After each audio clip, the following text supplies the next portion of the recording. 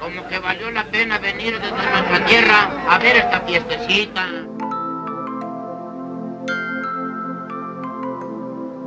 Mis amigas, mis amigos, es un gusto poder saludarles y gracias a ustedes yo también y mi familia, mi esposa y mis cuatro hijos estamos conociendo más de tantos artistas, actores, actrices, directores, escritores, películas del cine, desde el cine de oro mexicano hasta nuestros días. Aunque la verdad es que antes del cine de oro, pues ya se hacían películas en México. Y bueno, pues hoy vamos a platicar de un gran actor cómico, Carlos López Chaflán. Él fue un actor que empezó, como muchísimos de ellos, en las famosas carpas, en el teatro, y bueno, pues eh, prácticamente a los 40 años es cuando inicia en el cine, y pues afortunadamente con mucho éxito desde su primera película. Hay un detalle curioso, la imagen de Chaflán, si ustedes la recuerdan, pues es de un tipo bien simpático y con un enorme bigote. Bueno, pues yo me acabo de enterar que su bigote era postizo, fíjense nada más,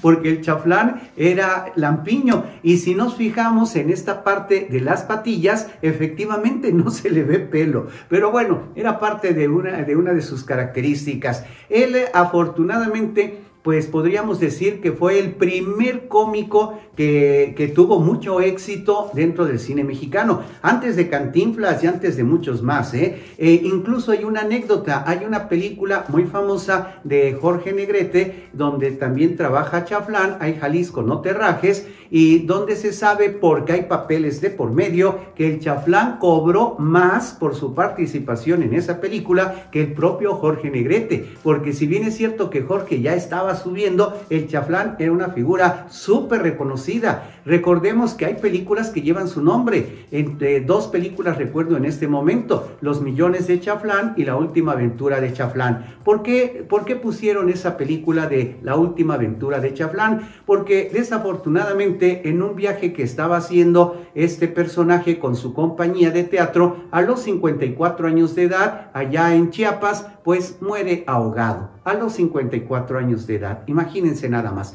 Muy interesante su vida, muy interesante sus películas. Vamos a conocer más de él. ¿Qué fue de Carlos López Chaflán, el primer gran actor cómico del cine de oro mexicano? Bueno, pues últimamente, más vale pájaro hermano que, que dos millones volando.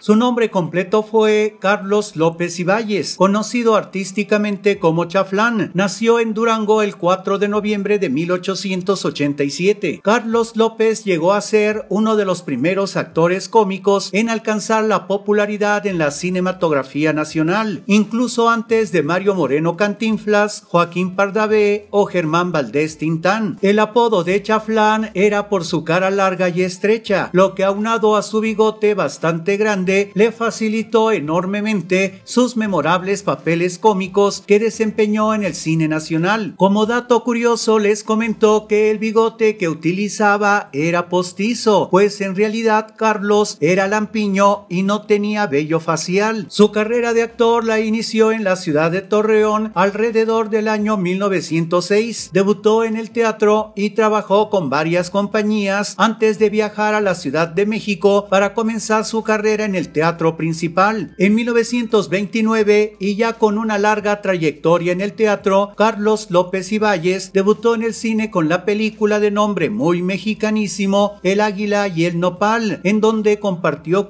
con Joaquín Pardavé, Roberto Soto y Ramón Armengot. Tras su buen desempeño en la pantalla grande, continuó su trabajo actoral en varias cintas. Estas son algunas de ellas. El compadre Mendoza de 1934 del director Juan Bustillo Oro, junto a Carmen Guerrero, Alfredo del Diestro y Antonio R. Frausto. Chucho el Roto del mismo año del director Gabriel Soria, protagonizada por Fernando Soler, Adriana Lamar y Domingo Soler. El Tesoro de Pancho Villa de 1935, película que poco tiene de revolución y sin mucho de western, pero que significaría para Carlos el ascenso en los créditos, pues de allí en adelante se movería en los niveles medios y ya no tanto en los inferiores. El baúl macabro de 1936, donde da vida a un agente de policía junto a Ramón Pereda y René Cardona.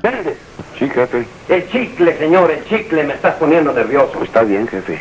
Allá en el Rancho Grande, también de 1936, cinta que inauguraría la llamada época de oro del cine mexicano. Esta cinta de corte ranchero mexicano estuvo protagonizada por Tito Guizar, René Cardona y Esther Fernández. La Sandunga de 1936, primera incursión en el cine mexicano de la diva Lupe Vélez, donde también participaron Rafael Falcón, Arturo de Córdoba y María Luisa Sea. Gracias a sus personajes cómicos, Carlos López protagonizó su primera película en 1938, llamada Los Millones de Chaflán, la cual se centró en su personaje y en una familia de campesinos que obtiene dinero de la venta de unas tierras en donde, supuestamente, unos norteamericanos descubren petróleo. Otro detalle curioso, esta cinta marcó el debut de Gloria Marín en el cine. Para 1941, Chaflán compartió créditos con Jorge Negrete en el largometraje de Ay Jalisco no te rajes, cinta donde de acuerdo a los registros de la época, el actor de comedia cobró mucho más que el protagonista. Y es que si bien para esa fecha y con esa cinta Ay Jalisco no te rajes del director Joselito Rodríguez, el charro cantor logró la fama internacional y se convirtió en una de las máximas figuras artísticas en América Latina y tras ya haber participado en varias cintas como Cuban Nice, La Madrina del Diablo, Caminos de Ayer, Perjura, El Fanfarrón, Juan Sin Miedo, Juntos pero no revueltos y El Cementerio de las Águilas. Por su parte, Carlos López Chaflán ya contaba con una larga trayectoria, por lo que el actor cómico habría cobrado más que el charro cantor. Tristemente, Chaflán murió ahogado en 1942 mientras descansaba de una gira que hacía con su compañía en Tapachula, Chiapas. Antes de su muerte, Carlos López había filmado la cinta Avalancha o Los Emigrantes, títulos que se habían sugerido antes de ocurrir el deceso del actor, tras lo cual el director decidió cambiarlo a la última aventura del Chaflán para hacerle un tributo a Carlos, siendo esta estrenada hasta 1945. Y es así que a la edad de 54 años, Carlos López Ibáñez, Chaflán, supo con esfuerzo, gracia, simpatía y calidad histriónica escalar desde los más modestos lugares hasta los primeros créditos de lo que ha sido llamado el séptimo arte y la gran época de oro del cine mexicano. Y esto me sale bien hoy.